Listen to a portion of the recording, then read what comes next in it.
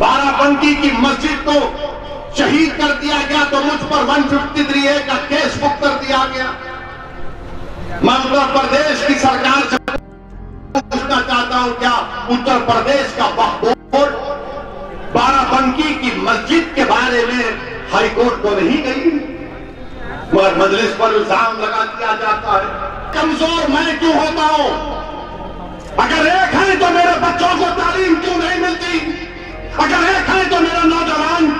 क्यों खाता है पुलिस के अगर एक है तो भूखा मैं क्यों मरता हूँ? अगर एक है तो गरीबी और मुफलिसी मेरा मुकदमा क्यों बन जाता है? इसका जवाब देंगे तो बोले नहीं, मिलके हर की मिलके ही तो है ना। जब मिलके रहते हैं तो फिर तुमको मेरी तकलीफ़ नज़र नहीं आती। तुम दौड़ रहे हो और मैं लंगड़ा हो चुका हूँ। तुम्हारे पास दौलत है और मैं भिखारी बन चुका हूँ। इसलिए कि हमारे पास एक सियासी ताकत नहीं है। मेरे अज़ीज़ दोस्तों और बुज़ुर्गों, डरने और घबराने की ज़रूरत नहीं है। ये बड़े बड़े दानीश्वर लोग अखबार में आर्टिकल लिखते कि ओवैसी जो बात कर रहा है, उसमें बड़ा रिस्क है। बड़ा रिस्क है।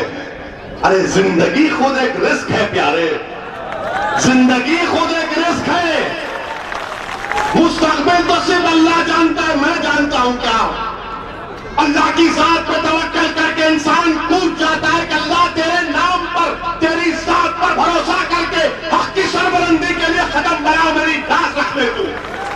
यही काम तो मंजलिस करती है।